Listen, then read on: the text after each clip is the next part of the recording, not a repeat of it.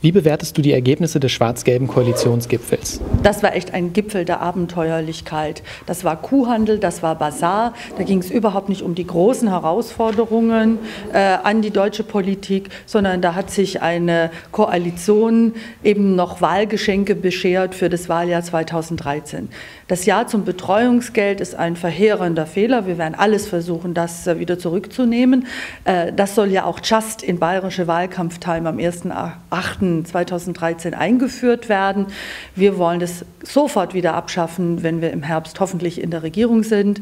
Äh, die Behauptung, man hätte etwas getan gegen die Altersarmut, ist reiner Placebo. Du brauchst dafür 40 Beitragsjahre, du musst dich privat vorgesorgt haben. Wer kann das als Geringverdiener? Und dann bekommst du 10 bis 15 Euro mehr und davon profitieren dann etwa 2 Prozent. Das ist eigentlich eine Unverschämtheit, das als Politik gegen die Altersarmut zu verkaufen verkaufen. Vor einem Jahr wurde der nationalsozialistische Untergrund entdeckt. Was ist seitdem passiert? Es ist praktisch in der Änderung der Sicherheitsstruktur nichts passiert.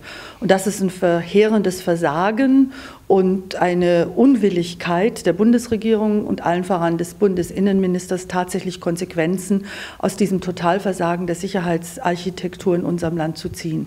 Wir brauchen keinen MAD mehr. Wir brauchen keine V-Leute, die ja keine demokratischen Informanten sind. Wir müssen die Sicherheitsarchitektur komplett neu ausrichten, denn so schafft sie keine Sicherheit, so schützt sie nicht die Verfassung, sondern gefährdet unsere Grundrechte hier in diesem Land. Morgen wird in den USA gewählt. Was für einen Präsidenten wünschst du dir? Na, das ist eine schwierige Frage. Ich wünsche mir Michelle Obama als Präsidentengattin. Nein, ich wünsche mir natürlich, dass die Demokraten äh, gewinnen.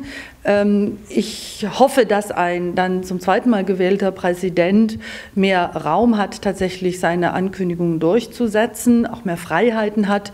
Aber es steht ja auch äh, zur Debatte, braucht man in Amerika staatliche Strukturen?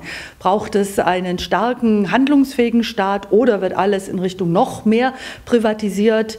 Ähm, und ich hoffe, dass äh, nicht zuletzt durch die Erfahrungen jetzt mit der Naturkatastrophe Sandy möglicherweise ein Bewusstsein darüber bei den den Wählerinnen und Wählern entsteht, dass es eben tatsächlich staatliche Strukturen braucht und nicht eine Privatisierung von sozialen Risiken.